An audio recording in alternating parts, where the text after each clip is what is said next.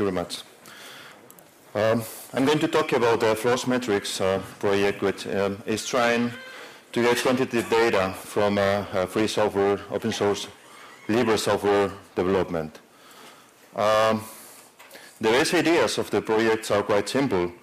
Uh, as you may know, in the libre software community, there are a lot of opinions. Everybody has an opinion about everything, how we could develop, we could improve development, uh, the quality of a project, uh, how many people is working there, things like that.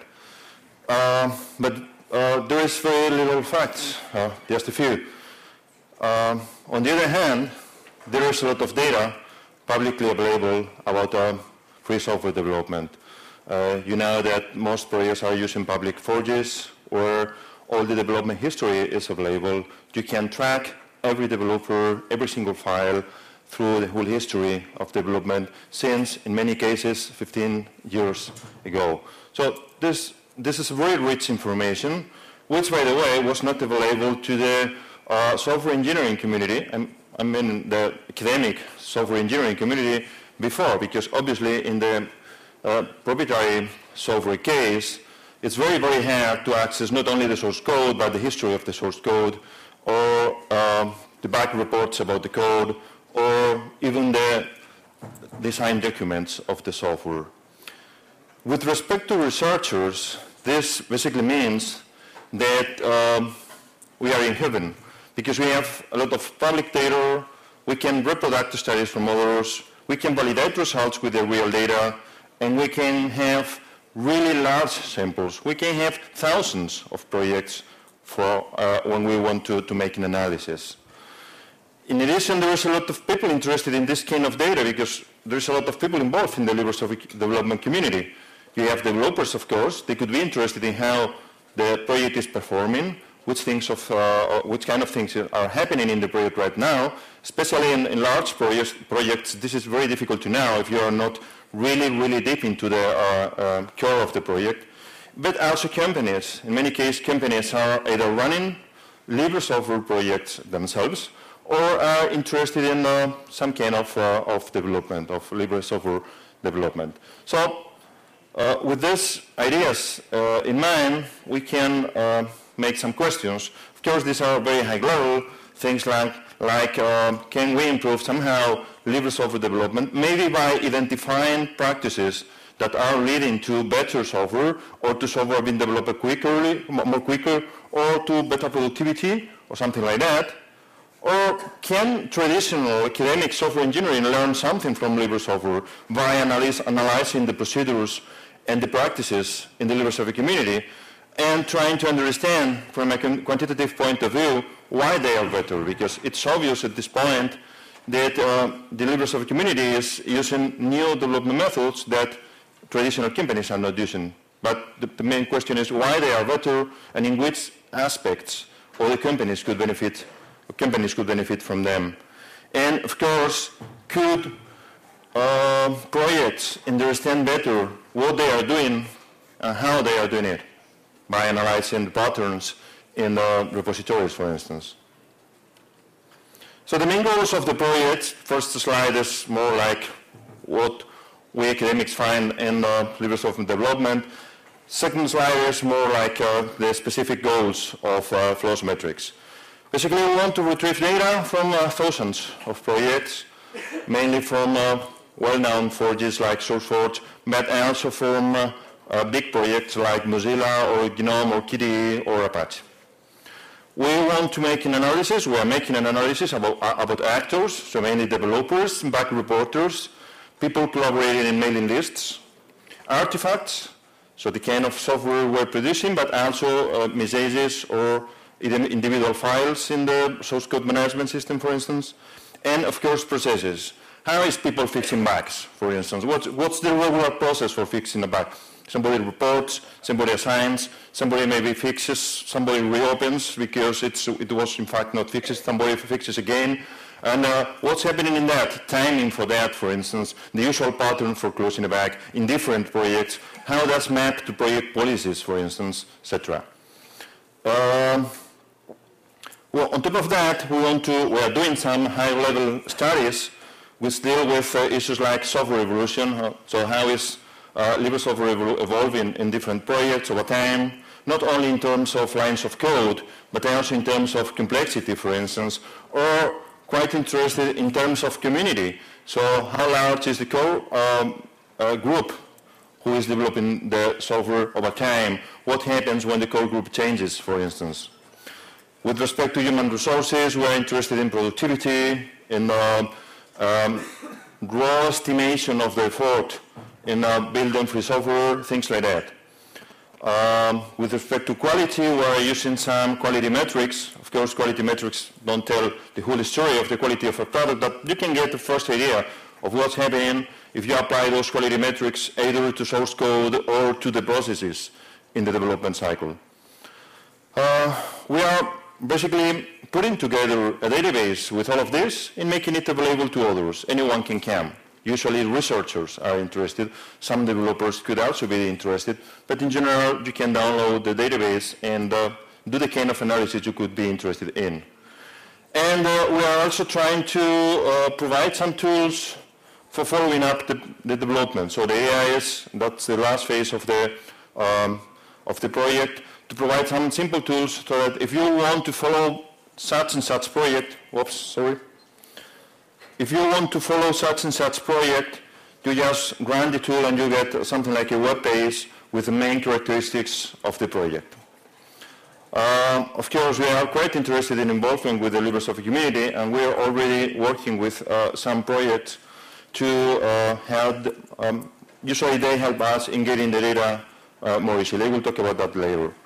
So summarizing the main results, this database I talked about with factual details. The factual is quite important because the things we have in the database are facts. So nobody can discuss that. That means somebody was doing a commit, such and such day, with such and such file, and the diff is this one.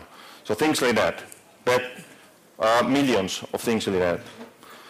We're having some higher level studies and analysis, which are basically reports that will be public when finished in a, in a couple of months from now. And uh, a sustainable platform for uh, benchmarking and analysis. So basically all this data is going to be kept in the servers so that anyone wanted to make a benchmarking analysis, for instance, can come here and look for similar projects to anyone, any other one, and for analyzing patterns wherever. Our main focus is in providing data and information. So we are interested in better testing this data, for saying it so by doing some analysis, but our main interest in providing the data so that anyone can come and do uh, his or her preferred analysis. Well, we're a bunch of partners all around Europe, including universities and companies. Oops, sorry. And uh, current status. Our project is uh, due to finish by August, so we are close to finish.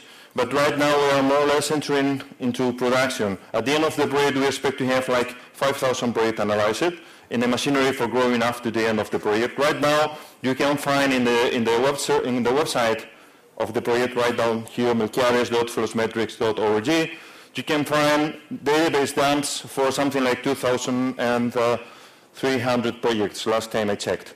Uh, basically what we offer is full MySQL dumps for CVS and Subversion commit records, so all the history of the project, metrics on size and complexity for some code. We still only have around um, well, 100 projects with, with that kind of information, but that, that's quite interesting. That's every release of every file of all the project through all the history.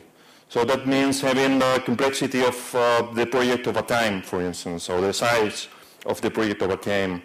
We also have in uh, mailing list main heroes, which are very useful for tracking the interrelationships and the communication patterns uh, in the project, and issue and backtracking systems for something like uh, 700 uh, projects right now.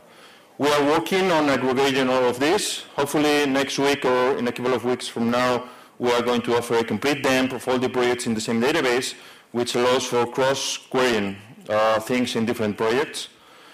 We are working on those focused studies, and uh, we have that Melquiades web-based repository.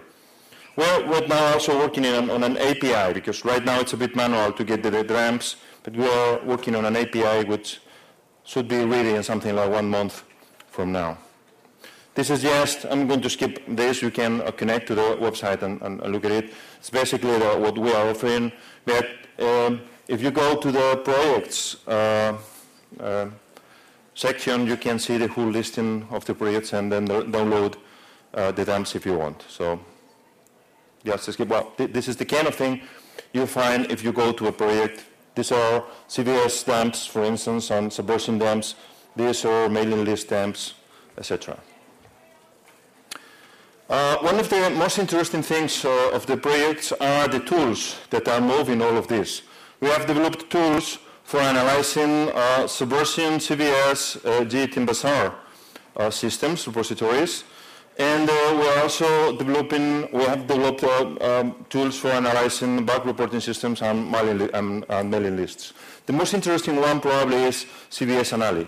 CVS Analy is basically capable of going to repository, download every version of every file and every commit record, which, which means you can track the whole history of the repository and put it into a nice SQL database when you can, where you can make queries much more simple than when the usual development tools.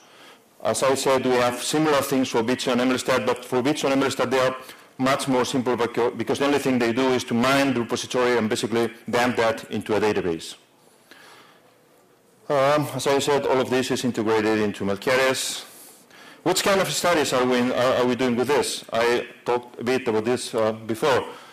We have evolution of projects where we are interested in the evolution of code over time, evolution of communities over time, and also things like the responsiveness of the project, for instance, in bug reporting or in uh, uh, releasing code or things like that. We are trying to detect deviations, so usually you see a common pattern, and at some point you see that the, that the project is performing very well or performing very bad for some reason. We are quite interested in those, let's say, disrupting points, because usually they reflect some core change in the project, which is quite interesting to understand what was happening after and before that point and, and, and what happened exactly there. We are quite interested in uh, the human resources side, such as uh, what happens when the core team in a project changes.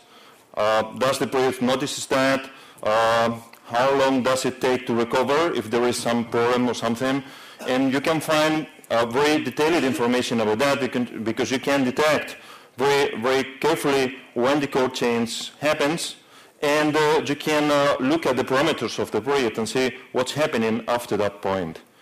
Uh, as I said before, we also work in effort and value estimation uh, with a group of economists, and um, we are basically, in the end, what we are looking for is finding parameters that can characterize the status of a project. So that, of course, this is never going to be like having an expert on the project who knows everything about the project and is following the mailing list all the days and the CVS commits all the days and so on. But if you just go there, see some parameters, you could have a very detailed idea of what's happening in this project, how many people is working here, what's the trend, are they having a community or not, uh, what's the matter with quality and complexity on the code, things like that. Uh, and overall, we're quite interested in detecting sustainability conditions for projects. So when project is led to success or not. At some point, it seems that you can find out because you need to enter some growth pattern. If you don't get enough resources, I mean human resources, it's very likely that the project is not going to, to succeed. Things like that. Of course, since what we are providing is data so that others can do the analysis, imagination in the end is the limit of the kind of the study you can do. I'm going to skip all this part about the kind of problems we have. You have it in the slides if you want to look at it. And I'm just straight to the final slide, which is, if you are interested, we are pretty much happy of uh, having your feedback or even your collaboration if you want. All the, detail, all the detail of the description of work of the project is available on the website, so you can look there. There's something like uh, 100 pages about what we are doing, schedule, things like that. Um, all the software we're using is Libre software. So you, if you are interested in the software and not in the data, you of course can use the software. It's available here. Uh, of course, if you are interested in the progress of the uh, project, have a look at the, web, at the website. Uh, in a couple of months from now, we are entering full production, but I guess that right now we are pretty much usable. Uh, we are also interested in knowing how this could be useful for you. as a developer or maybe somebody involved in the LibreSoftware community somehow. So please give, give us feedback. We are willing to collaborate with projects and very interested in feedback from developers, specifically in the areas of privacy, because we are having a lot of data that could, could be considered as a problem for privacy, but also in uses of this in different projects. Sorry, different projects. And uh, this is all from my side. Okay, just some time. Thank you.